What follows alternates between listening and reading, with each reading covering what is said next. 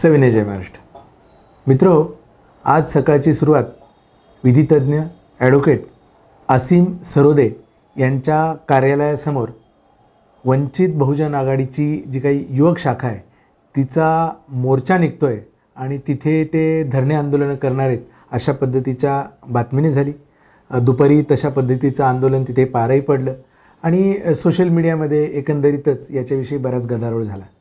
आता आसिम सरोदे नेमकं काय म्हटले? राहुल गांधी नेमकं काय म्हटले? किंवा त्याच्यावरती वंचित बहुजन आघाडीची अशा पद्धतीची प्रतिक्रिया का आली? हे एक मुळातून समजून घेतलं पाहिजे असं मला वाटतं. खरं तर हा मुद्दा आपण खूप राजकीय पद्धतीने बघतो आणि हाताळतो याच्यातच खरी चूक आहे मला असं वाटतं.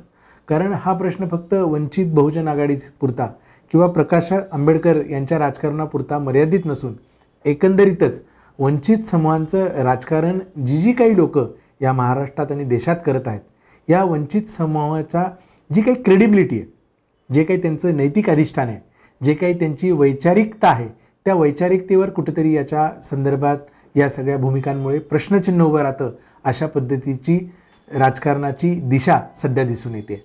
कारण तुमच्या पक्षाला तुमच्या विचारसरणीला किती समर्थक आहेत किती पाठीराखे आहेत याच्यापेक्षा त्याचं कट्टर समर्थन करणारे आणि भूमिकेवर ठाम राहणारे लोक किती आहेत हा जास्त महत्त्वाचा मुद्दा असतो असं मला वाटतं.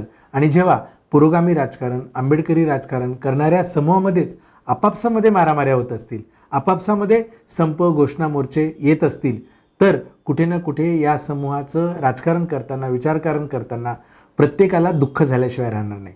कारण प्रकाश आंबेडकर हेही आपल्याला परके नाहीत आणि आसिम सरोदेही परके नाही आहेत किंबहुना एकंदरीतच काँग्रेसने यापूर्वीही संविधान बचावाची घेतलेली भूमिका असेल आरक्षणासंदर्भात घेतलेली भूमिका असेल किंवा सामाजिक न्यायासाठी केलेलं काम असेल.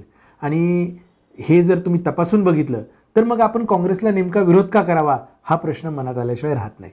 आता राहता राहिला मुद्दा राहुल गांधींचं जे काही मूळ स्टेटमेंट अमेरिकेमध्ये ते केलं तर ते तुम्ही यूट्यूबवर जाऊन बघू शकता.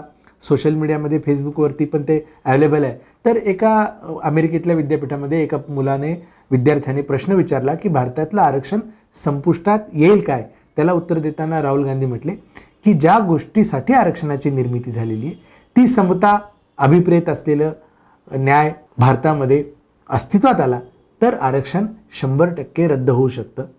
परंतु परिस्थितीचं जर अवलोकन केलं तर तशा पद्धतीची परिस्थिती दूरदूरपर्यंत कुठे दृष्टिक्षेपात दिसत नाही.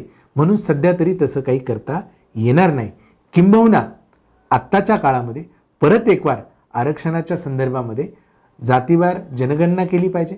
परत एकवार सामाजिक न्यायाच्या परिभाषेची नवीन अशी डेफिनेशन केली पाहिजे आणि अधिक इफेक्टिव्ह पद्धतीने हे राबवलं पाहिजे. किंबहुना पन्नास टक्क्याच्या पुढे आरक्षण आम्ही नेऊ अशा पद्धतीची आग्रही भूमिका राहुल गांधींनी मांडली आहे. आणि ही सगळ्याच आंबेडकरी समूहाच्या किंवा वंचित दलित आदिवासींच्या राजकारणाच्या दृष्टिकोनातून खूप चांगली आणि स्वागत करावे अशी भूमिका आहे. असं असताना जर आपण राहुल गांधींना कुठल्या तरी ट्रोलर पार्टीने कुठल्या तरी फेक पार्टीने त्यांचं वक्तव्य पूर्ण जे काही ते म्हटले त्याच्यातली तोडमोड करून मांडून जर त्यांना कोणी ट्रोल करत असेल आणि त्या ट्रोलिंगच्या गोष्टीला आपण बळी पडून जर राहुल गांधींना विरोध करत असू तर कुठे ना कुठे आपण स्वतःची फसवणूक करतोय. किंबहुना बी जे पीसारखा पक्ष असेल किंवा आर एस एस सारखी संघटना असेल त्याच्यामध्ये अंधभक्तांची काही कमतरता नाही. आणि ती लोक ट्रोलिंग करण्यात पटाईत पण आहेत आणि त्याच्यामध्ये बुद्धीचा विचार ते करत नाहीत ही गोष्ट जगजाहीर आहे. परंतु जेव्हा वंचित बहुजन आघाडीसारखा पक्ष जो स्वतःला प्रबुद्ध म्हणून घेतो बाबासाहेबांचा विचारांचा म्हणून घेतो आणि त्यांचं राजकारण पुढे जाऊ घेऊन जाऊ इच्छितो त्यांच्या पक्षाचे जर कार्यकर्ते नेते अशा पद्धतीची भूमिका घेत असेल तर मनाला कुठेतरी खोलवर दुःख झाल्याशिवाय राहत नाही.